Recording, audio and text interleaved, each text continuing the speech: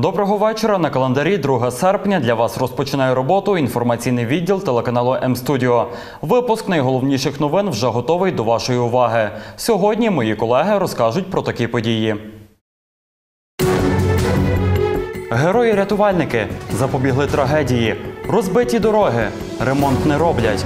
Вільшанське водосховище, забруднення об'єкту, врятувати жінку, необхідна допомога, аномальна спека, пошук порятунку, відпочинок на Закарпатті, літо триває, змагання в небі, масштабне дійство. Один військовий збройних сил України загинув, один поранений. За минулу добу ситуація в зоні проведення АТО загострилася. Бойовики 34 рази відкривали вогонь. На Донецькому напрямку терористи тричі обстрілювали українські укріплення на шахті Бутівка. По південних околицях Авдіївки бойовики кілька разів били з мінометів, гранатометів та стрілецької зброї. Також неспокійно було в Троїцькому, біля Майорська, Верхньоторецького і Зайцевого. Україна веде переговори про розширення безвізу з країнами Європи, Північної та Південної Америки та Азії. Таку відповідь надало Міністерство закордонних справ України. Наразі питання спрощення режиму поїздок порушено перед Вануату, Гренадою, Колумбією, Кувейтом, Південною Кореєю, Маршаловими островами, Мексикою, Об'єднаними Арабськими Еміратами, Самоа, Соломоновими островами, Таїландом, Тринідадом і Тобаго, Тувалу та Уругваєм. Одностороннє рішення про запровадження безвізового режиму для громадян України ухвалено Коста-Рикою і Маврикієм. На Берегівщині мужні чоловіки здійснили справжній героїчний вчинок. Врятували життя матері та дитині. Під час відпочинку на річці почала тонути дитина. Рятувати її кинулася мати, яка теж не вміла плавати. Про історію зі щасливим кінцем розкаже Алла Легаза. Це був звичайний спекотний літній день. Неділя, вихідний, коли відпочивальників біля водойм зазвичай найбільше. В урочищі Поповий лас у селі Нижні Ремети того дня було чимало людей. Одні безтурботно купалися у річці, інші неподалік вальтанці готували страви на мангалі. І здавалося б, нічого не віщувало біди.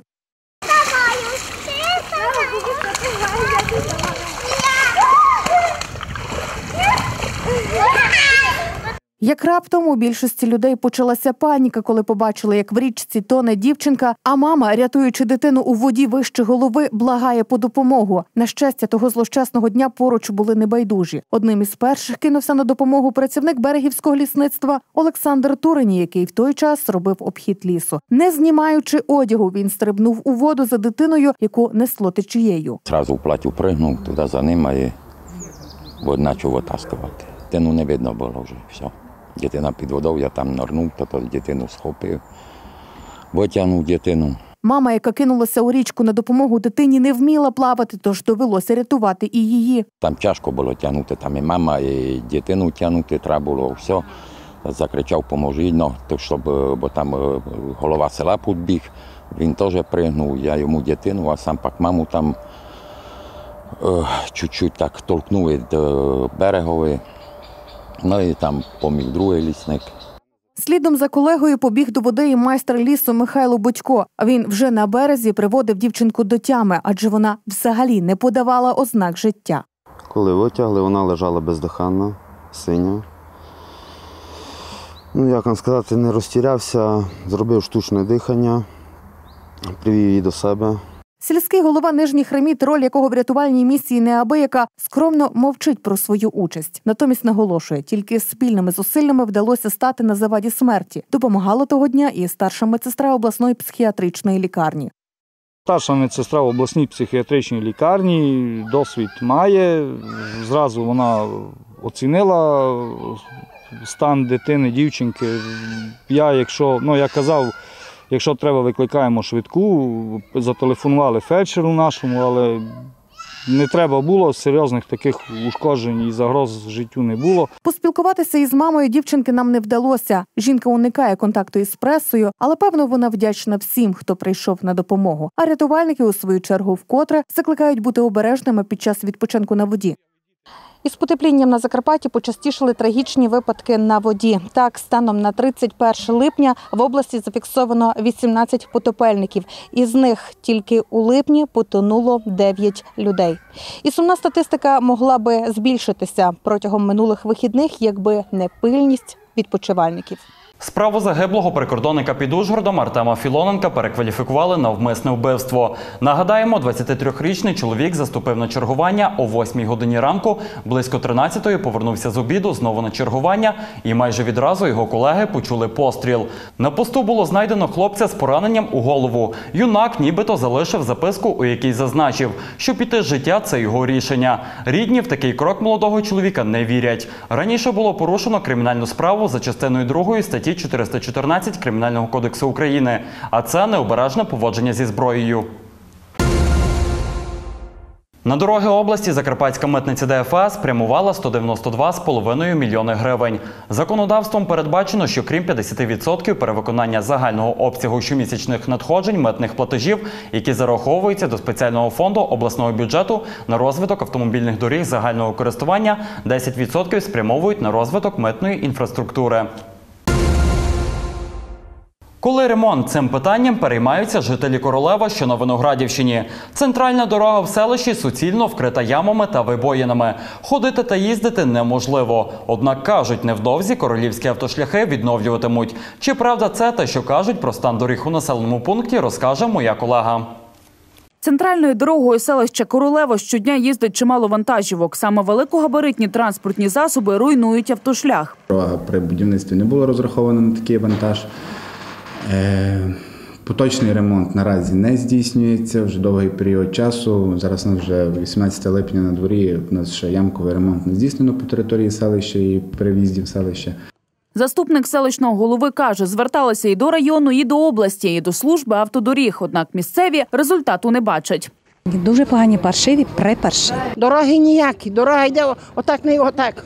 Ми ж думаємо, коли той автобус перекине. Дороги ніякі. Частку зроблять, тоді лишать. Частку зроблять, тоді лишать. Або було, що вони вже зробили. Зараз піднімаю питання у своїй вулиці, щоб своїми силами завести вулицю, щоб більш-менш хоч одна наша вулиця була добра. Не гарні дороги. Почали робити, встановилися. Такі ями страшні, що ужас один. Пішком ходиш та голову загубиш, не то, що на транспорті якомусь їздити, то вбитися можна. Машина щонедень, то ремонт. Однак заступник королівського селищного голови каже, ремонт у планах. Навіть кошти вже виділили. Наразі буде е, проводитись е, ремонт поточний ямковий на 100 тисяч гривень, е, те, що виділила районна рада. І також ми зараз отримали кошти на ну зараз отримаємо вже вже на сесії було проголосовано. Прийнято рішення стосовно виділення нам е, 715, якщо не помиляюсь, тисяч гривень на капітальний ремонт вулиці Злавди. Це фактично центр селища. Ну там взагалі катастрофа, там ями майже до колін.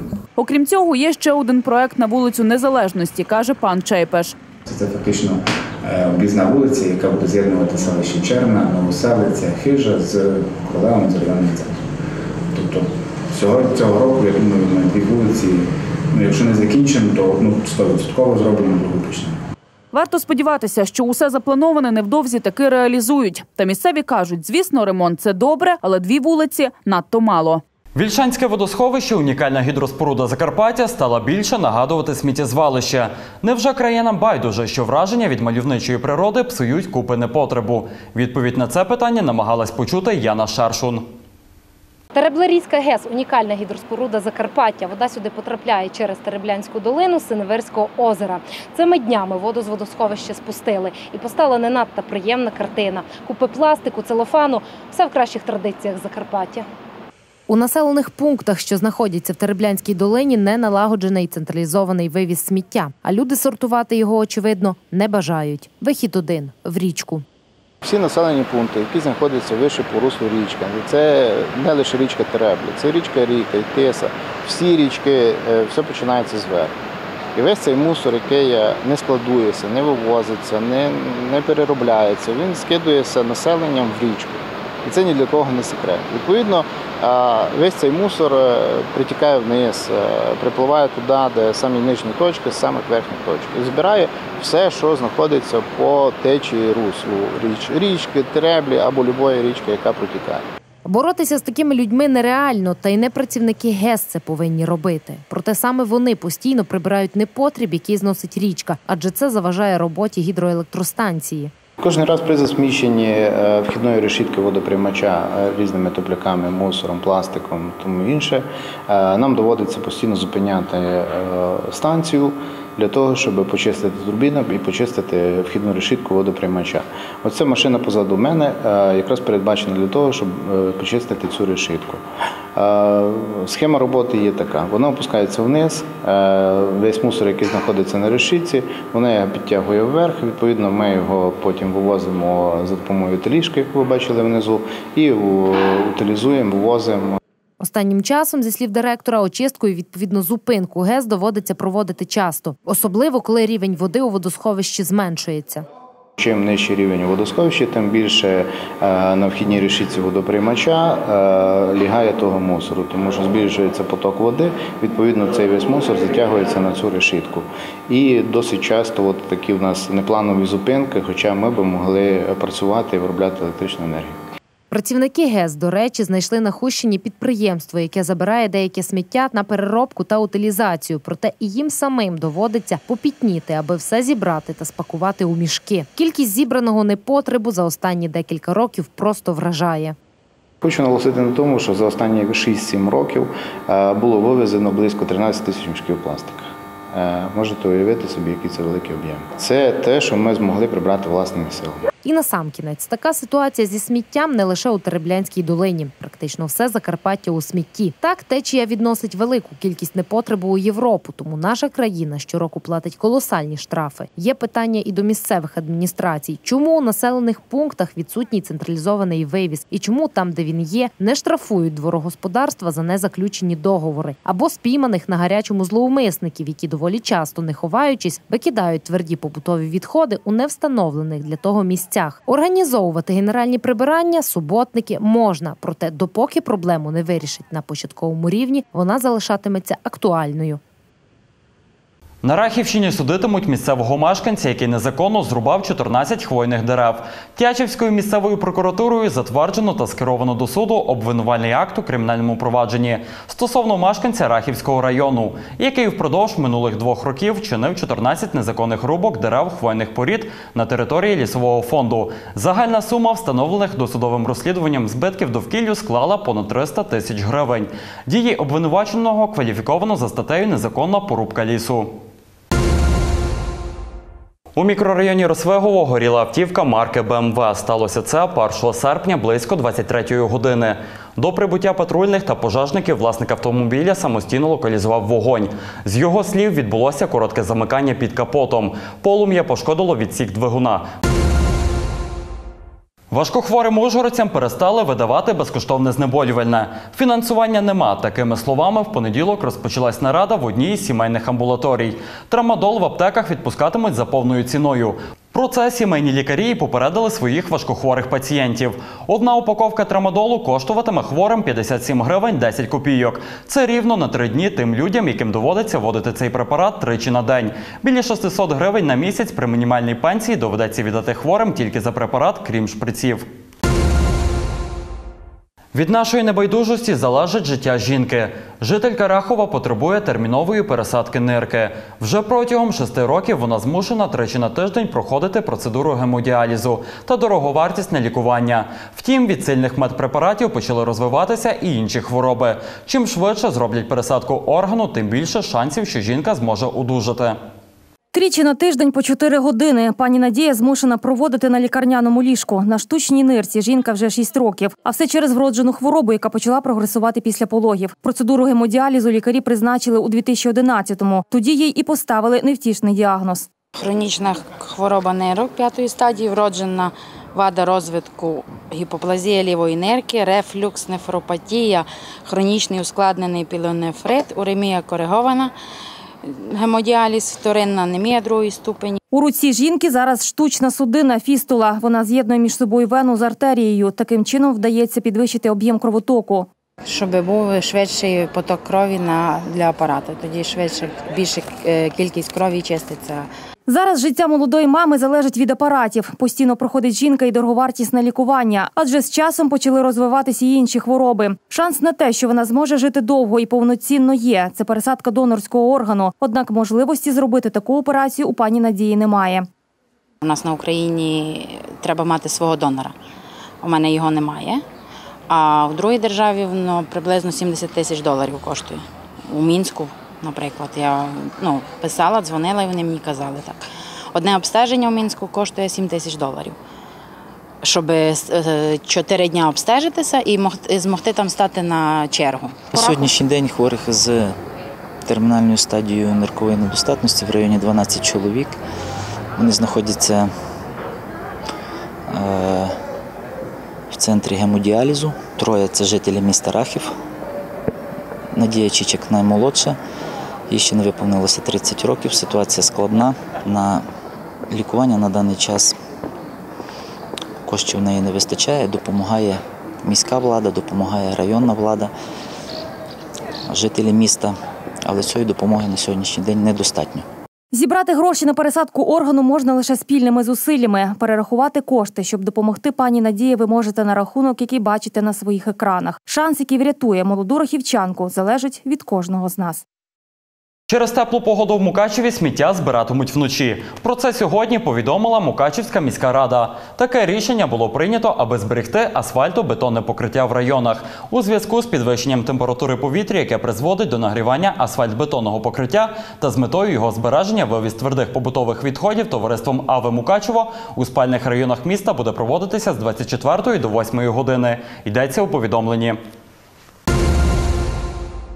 У четвер половина міста Мукачева кілька годин буде без води в зв'язку з проведенням ремонтних робіт. Водопостачання буде припинено з 12 до 14 години усюди, крім району Росвигово. Повідомляє Мукачівський водоканал. Мукачівців просять забезпечити мінімальний запас води. На водозаборах чи Надієво, Івана Франка та Севастопольське вечірня подача води буде збільшена. Відсьогодні всім українцям мають встановити лічильники на воду та тепло, адже набув чинності закон про комерційний облік теплової енергії та водопостачання. Він передбачає, що всі українські споживачі мають перейти на облік споживання теплової енергії та водопостачання. Про це повідомив прем'єр-міністр України Володимир Гройсман. Тож тепер оператори зовнішніх інженерних мереж зобов'язані встановити лічильники там, де їх поки що немає. Лічильники тепла мають встановити протягом року. Рік часу мають оператори для встановлення лічильників води для нежитлових будівель. Для житлових будівель цей термін два роки. Цьогорічне літо змушує закарпатців загартовуватись як фізично, так і морально. Різкі перепади температури неабияк впливають на здоров'я. Скаржаться не тільки люди, а й наголошують лікарі. Ось уже кілька днів на вулиці аномально спекотно. І як рятуватись від сонця та що робити в разі теплового удару, розкаже Олександра Балох. Саме так останні кілька днів мріють проводити весь свій денний час наші краяни. На вулиці панує надзвичайна е, спека. У міських джунглях на сонці температура сягає 35 градусів. Люди скаржаться, спека виснажує. Хочеться або ж цілодобово перебувати у воді, або ж зачинитися вдома із кондиціонером. Возле фонтана отдыхаем с ребенком. В лесу хорошо. Дома сижу і п'ю багато води. П'ю багато. Одіваюся легко в натуральну. П'ю воду постійно, а в холодок читав, що йти мало. До того ж, додають, окрім дискомфорту, така спека шкодить і здоров'ю. Шкодить, звичайно, бо то важко такі перепади витримувати. То раз тепло, то раз холодно. Як не впливає, дуже впливає. Недобре, дуже недобре, тому що в людей давлення. Спека теж шкодить, тому треба і в тіньочки сидіти там, не виходити в таку спеку на двір. Про це наголошують і лікарі, а також дають рекомендації, як рятуватися від спеки. Не перебувати е, під прямим сонячним опроміненням е, ну, в період з 11 до 16 години. Е, Це е, уникати значного фізичного навантаження в період е, е, високої температури, багато пити. Е, Для збереження е, ну, можливості належної терморегуляції організму.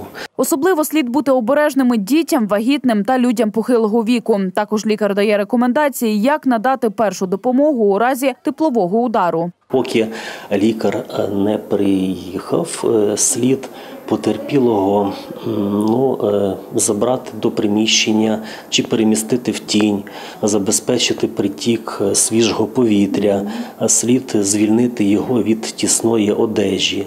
Якщо є можливість е, і ну, потерпілий при свідомості здатен пити, то дати пити. А ці поради варто взяти на озброєння, бо синоптики прогнозують тільки підвищення температурних показників. Протягом всього тижня буде відмічатись жарка, сонячна, спекотна погода. Е, Сьогодні максимальні температури становитимуть 33 градуси тепла. Це буде пов'язано із тим, що на погоду області буде впливати поле підвищеного тиску. Поступово буде посилюватись антициклон. Точних прогнозів не дають. Погода мінлива і змінюється шаленими темпами. Тож, якщо хочете вберегти себе від теплового удару, дотримуйтеся порад лікарів. Через аномальну спеку на Закарпатті скорочують робочий день на годину. Голова Закарпатської ОДА підписав відповідне розпорядження. Діятиме воно від 2 до 10 серпня. Саме в цей період синоптики прогнозують в області аномально високу температуру повітря. На переважній частині Закарпаття очікується до 36 градусів тепла. Недопрацьовані з 2 по 10 серпня години будуть перенесені на робочі дні в кінці серпня і на початку вересня, коли температура повітря нормалізується. Закарпатські депутати прийняли звернення на адресу Укрзалізниці щодо необхідності термінового вирішення питання дефіциту проїзних квитків на потяги. У документі сказано, Закарпатська область єдина в Україні знаходиться у центрі Європи і межує із чотирма країнами Євросоюзу. Упродовж останнього року, незважаючи на збільшення Укрзалізницею кількості поїздів, існує постійний дефіцит квитків. У жителів області є нарікання. кажуть, не можуть придбати проїзні квитки до Києва та Одеси і у зворотньому напрямку, навіть завчасно. Крім того, ускладнюється питання службових відряджень працівників обласних підприємств, установ та відомств до столиці України. Літо в розпаді, курортний сезон триває, але не всім вдається потрапити на омріяне море. Та не варто опускати руки і відмовляти собі в задоволенні провести час біля води. За словами закарпатців та гостей краю, озеро Дідово, що на Берегівщині, чудова альтернатива морським курортам.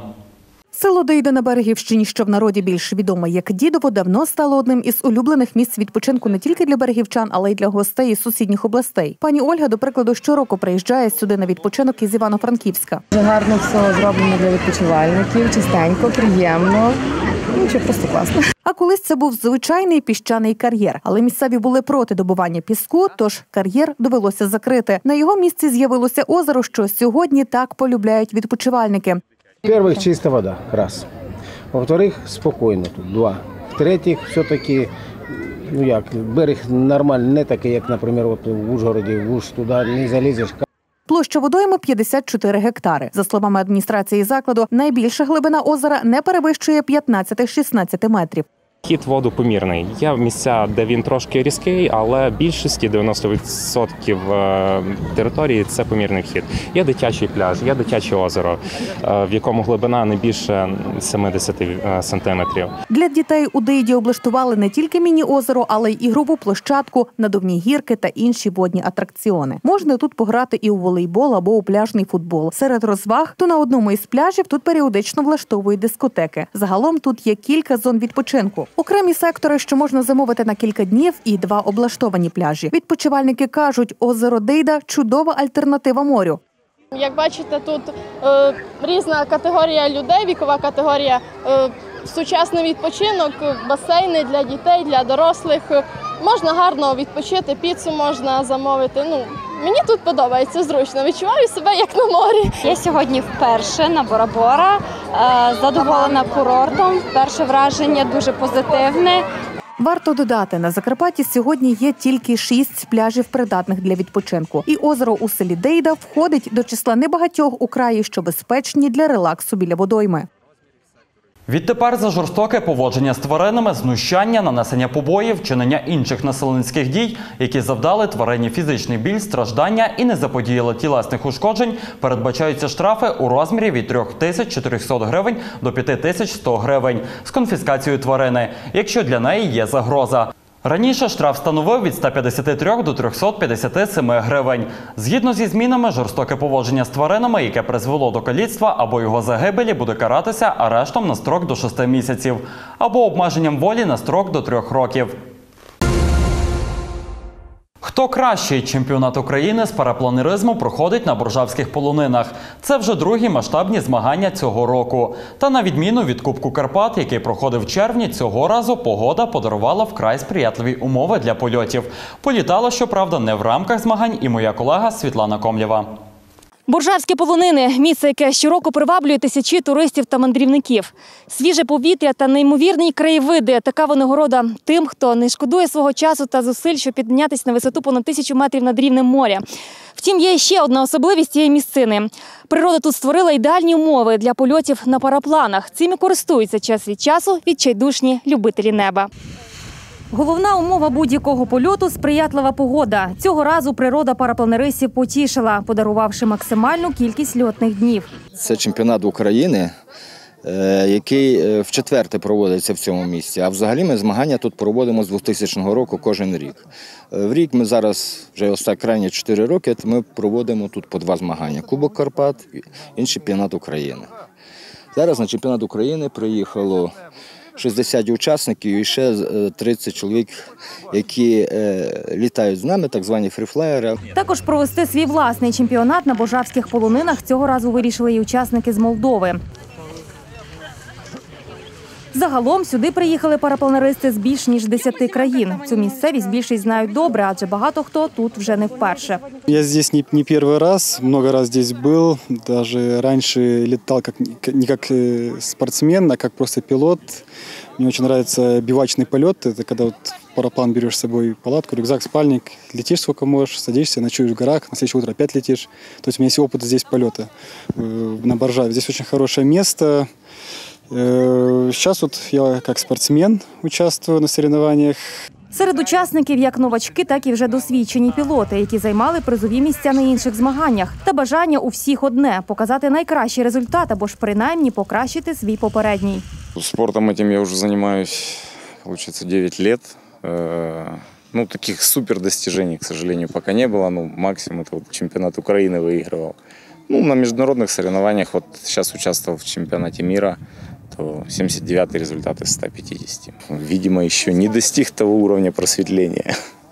Я вперше в житті беру участь в змаганнях. Найбільше мені подобається цей дух парапланеризму та свобода, яку я відчуваю в повітрі. Це для мене перші змагання, тому саме навіть про- просто прийняти участь це для мене вже якась е, така собі перемога. В соревнованиях мы далеко не новички, мы едем по разным горам и участвуем в разных соревнованиях. Так и в эти соревнования мы приехали прямо с Словении, с Алп, где, уча- где проходил э, чемпионат Литвы по парапланерному спорту. Усіх любителів неба на певному етапі життя об'єднала спільна мрія. Когось вона супроводжувала ще з самого дитинства, але усім вдалося втілити її в життя.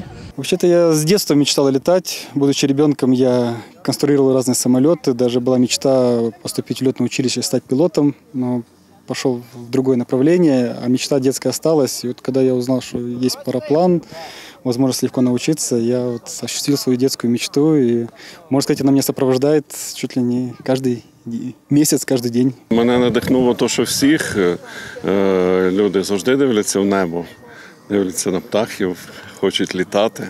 Як жартують пілоти, парапланеризм це альпінізм для лінивих, адже вони можуть бачити вершини, при цьому не витрачають надмірних зусиль. Особливої фізичної підготовки цей вид спорту не потребує. Немає тут і вікових обмежень, а от гострий розум та постійна зосередженість те, що потрібно.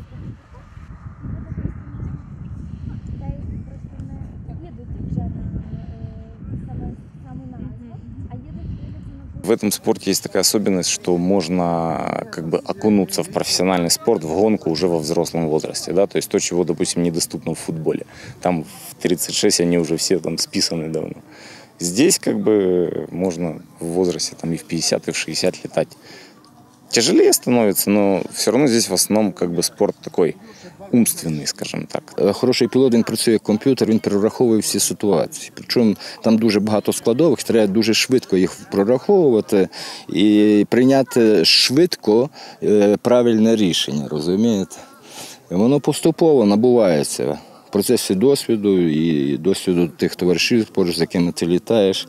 Хоч і небезпек, які чатують у повітрі, вистачає, досвідчений пілот зможе з ними впоратись. Головне, потрібно правильно підібрати крило та тверезо оцінити свої можливості. Найбільше пілотів в небі приваблює відчуття душевного спокою та умиротворення.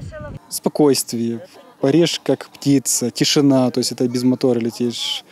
Э, Для того, чтобы летать, нужно как бы и чувствовать, чувствовать потоки, чувствовать воздух, чувствовать ветер. И, ну, ц- как бы все земные проблемы просто отпадают, и ты сконцентрирован на полете, на отдыхе, на созерцании природы, гор. Більше цей спорт дає для, м- для мого внутрішнього знову ж таки стану, для мого якогось внутрішнього спокою. Е, Це завжди якась така от рівновага. От коли, наприклад, я працюю, та в мене є якісь там проблеми в житті, я стараюся якось максимально ем, відгородити себе від цих проблем. І найкращим способом розрядки для мене це є польоти. Тобто я всі проблеми залишаю на землі. І я літаю, насолоджуюся от справжнім життям. Для мене це дійсно справжнє життя в всьому своєму прояві. Сповна відчувши смак свободи, кожен повернеться до своїх буденних справ та вже з новими силами та зарядом неймовірної енергії, якої вистачить надовго, принаймні до наступного польоту.